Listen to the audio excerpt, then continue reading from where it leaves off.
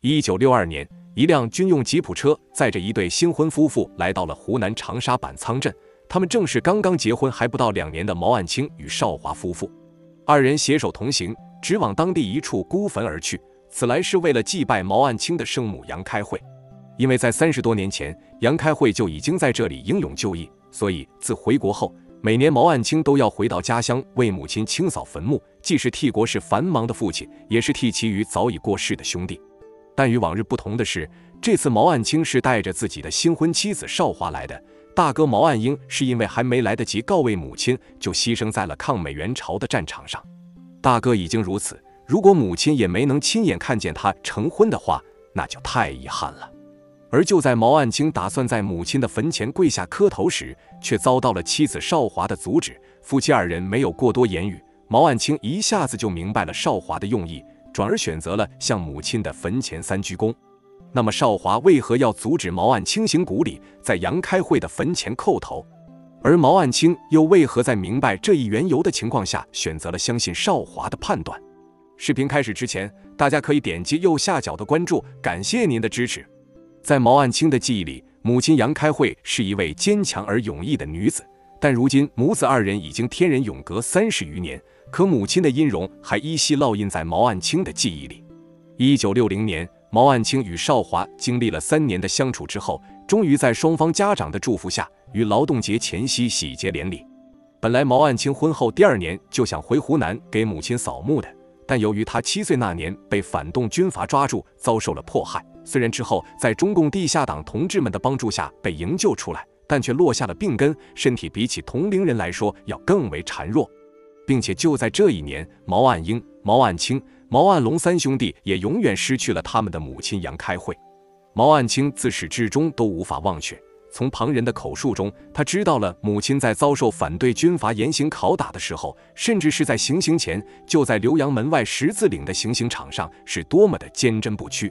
杨开慧当年是因为暗地里回乡看望母亲和三个孩子而被捕的，而且当时他年仅八岁的长子毛岸英与家中的保姆也一同被捕。反动军阀们的目标主要就是他，遭受多次折磨的也是他，但杨开慧顶住了敌人的重重压力。宁死也没有说出任何有关中国共产党的机密要闻。当时负责审讯杨开慧的组织是极其凶恶的国民党长沙警备司令部中的产工队成员，他们无论是威逼利诱还是酷刑压迫，无论是从精神上还是肉体上，都对杨开慧进行了非人的折磨。然而杨开慧始终都没有背叛中国共产党，他声色俱厉驳斥敌人，要杀要剐都随你们便，我们中国共产党人死也不会向你们低头。想从我这里知道机密情报，痴心妄想。杨开慧的这段话大大震慑了这些居心叵测的国民党反动派，他们意识到杨开慧的嘴是轻易撬不开的，于是他们转变了思路，想让杨开慧公开宣布自己与毛主席切割关系，借此让毛主席在处理其他重要事务时分神。可接下来杨开慧说出的话，却是从毛主席的角度来说，一生都难以忘怀。他先是不屑的冷笑，然后重重的啐了一口：“我呸！别想利用我去影响他，想要我们脱离关系，除非海枯石烂。”这下国民党反动派彻底没辙了。为了以儆效尤，只得将杨开慧在浏阳门外十字岭的行刑场上当众杀害。据说杨开慧临行前毫无惧色，依然高声痛斥国民党的恶行。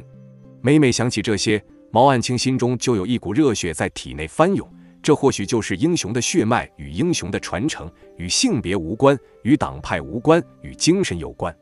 此时，毛岸青已然在妻子邵华的陪伴下，走到了母亲杨开慧的坟前。他站在原地许久，才说出了一声：“娘，我带少华来看你了。”其实不只是毛岸青，少华在一旁同样也是感慨万分。他同母异父的姐姐刘思琪，正是毛岸青已故长兄毛岸英的遗孀。但刘思琪却没能等到毛岸英带他回到家乡给母亲杨开慧扫墓。现在少华就站在杨开慧的坟前，他觉得自己此时也不仅仅是代表自己，也应该代表自己的姐姐给婆婆杨开慧尽这一份孝道。于是二人先将周围洒扫干净，再准备开始进行祭拜活动。按照中国人的传统，祭祀祖先时要叩头，这是中国封建时代最郑重的一种礼节。但就在毛岸青准备给母亲规规矩矩叩头行礼时，邵华却拦住了他。少华自然并不是存心阻拦毛岸青为母亲杨开慧尽孝道，而是还有着其他更深层次的考量。毛岸青正打算给母亲磕头时，少华竟然一反常态地拉住了他的手臂，间接制止了他的行动，这让毛岸青感到十分不解。他第一时间就反应过来，妻子是不想让自己给母亲磕头，于是他短时间内没有反应过来，疑惑地看着他。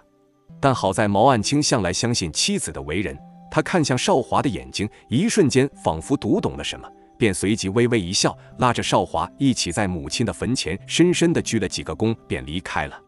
面对丈夫的这一份理解，少华也是十分感动，看向毛岸青的眼里更是多出了欣喜与感激。夫妻二人之后便相伴而行，回到了北京大学，继续自身的学业与研究。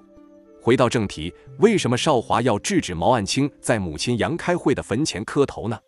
可能是有以下几个方面的考虑。第一点，毛主席与杨开慧从相识之初就是坚定的唯物主义者，不信中国封建文化中的鬼神那一套。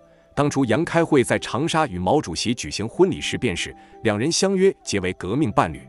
当时的杨开慧更是大胆地提出自己一不做八抬花轿，二不要贵重嫁妆，三无需父母之命、媒妁之言，用以表示自己与毛主席的结合与俗人不同。而且毛主席在看望母亲文七妹时也很少磕头，更多的则是鞠躬表示礼节。再加上杨开慧更是性情刚毅，就算看见毛岸青给自己磕头，肯定也不会高兴，所以少华才自作主张制止了毛岸青。第二点，毛岸青是毛主席唯一一个还在世的儿子，其一举一动必定会受到有心人的留意，万一他的一些言行被反动派拿来作为抨击他本人乃至毛主席的题材的话，那可就得不偿失了。所以少华想的大概是，毛岸青如果此时在母亲坟前磕头，要是被别人撞见，也许会落下某些把柄，并且当时国内政治形势也不甚明朗。后世著名的庐山会议就在前一年刚过去不久。少华认为，即便毛岸青是毛主席的儿子，还是要打起十二分的精神来应对随时可能发生的突发情况。第三点，毛岸青自七岁那年遭受折磨后，与兄长毛岸青又被送往了苏联进行生活学习。西伯利亚的苦寒天气让二人初期难以适应，不可避免地影响到了自己的身体。在苏联期间，毛岸英主动要求上前线，毛岸青则积极参与运送伤员、开挖战壕等一系列之前工作。从生理学的角度来说，隐患一直深埋在毛岸青的身体内部，就像一个定时炸弹。这个定时炸弹爆炸的时间点，正是在毛岸青得知毛岸英牺牲的时候。自此，他去往苏联养病，一去就是整整七年。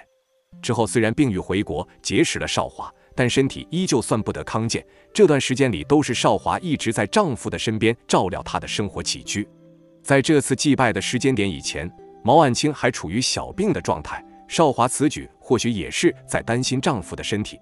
最终，毛岸青还是放弃了跪拜，选择和妻子站在母亲的墓前，对母亲三鞠躬。这样的做法既显示了对母亲的敬重，也避免了少华所考虑的出现某些差错，从而落人口舌。但无论如何，从中华传统文化的角度来说，男子汉跪天跪地跪父母，倒也不会落人口舌。也许少华还有其他的原因无法明说，这一点我们已经无从得知。但有一点我们应该相信，那就是他们二人对杨开慧的尊敬一定不亚于任何人。这么做一定有他们的理由。说来也巧。毛主席与杨开慧的爱情，比起后来杨开慧所生的两个儿子毛岸英和毛岸青与各自妻子的爱情故事来说，那也是当仁不让。一九零一年十一月六日，杨开慧出生于湖南长沙板仓镇。得益于父亲杨昌济是一位思想进步的学者，杨开慧少年时期极有大志。他当时就读于杨公庙官立第四十小学，是班上年龄最小的学生，但他学习刻苦，所以成绩在班上名列前茅。当时有人问杨开慧将来想做什么，杨开慧当时年仅十岁，但他回答了一个令所有人都感到惊讶的答案：“我要做对社会有益的事情。”这让杨昌济十分惊讶于女儿的志向。于是杨昌济见机会难得，就让他的母亲向振熙也陪同杨开慧一起学习，顺便可以照顾女儿的生活。母亲就读于实业班，女儿就读于附设小学班，母女二人的事迹一时间传为当地的一桩美谈。一九一三年，因杨昌济的工作原因，杨开慧也随父亲迁往长沙进行学习。因故停学后，便由父亲指导杨开慧在家自学。恰逢此时，青年时期的毛主席与好友们听闻杨父的大名，常常登门求教，探讨做人与救国的真理。杨昌济也乐得与年轻人交流，众人相谈甚欢。杨开慧就在一旁静静地听着他们交流，这也是他与毛主席之间的初遇。五年后，杨昌济又去往北京大学担任教授，于是举家北迁。同年九月，毛主席也因勤工俭学之故来到北京，二人一见如故。并迅速开始接触，直到双双坠入爱河。一九二零年年初，杨昌济病逝，杨开慧不得不随父亲的遗体回到湖南长沙老家，因此暂时告别了毛主席。但同年八月，毛主席又回到长沙成立了书社，因此二人又重新相遇。但这时毛主席开办的书社资金短缺，于是杨开慧与母亲商议后，将父亲的电仪金分出了一部分，拿来支持毛主席。而且杨开慧本人还在书社中担任重要职位，是毛主席平日里重要的左膀右臂。依然是这年冬天，杨开慧与毛主席举行了简单的婚礼，二人凭借自己的意志走到一起，一时传为美谈。后来，杨开慧随毛主席转战各地，担任党内诸多重要工作，并在1922年、1923年、1927年分别生下了长子毛岸英、次子毛岸青、三子毛岸龙。杨开慧一边要照顾毛主席的日常生活起居，一边还将母亲接到了身边，更别提还有三个儿子和平时党内的诸多联络与文书工作。可以说，当时的杨开慧的确是毛主席无可替代的贤内助。可一九二七年大革命失败后，杨开慧被迫与毛主席分开，根据党的安排回到长沙进行地下斗争。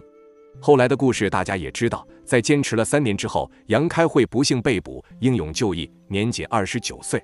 毛主席为了寄托对亡妻的思念，还在自己的作品《蝶恋花·打理书衣》中写道：“我失骄阳君失柳。”其中的“骄阳”一词，指代的正是杨开慧。杨开慧对于毛主席的影响是深远的，不仅仅是因为他的三个儿子，还因为他是唯一一位从头到尾都能给予毛主席支持。并且将家庭打理得井井有条的妻子，以至于解放后，毛主席还时常怀念杨开慧。看完这段有关毛岸青回湖南祭拜母亲的往事，你有什么想说的吗？欢迎在评论区留下你的观点。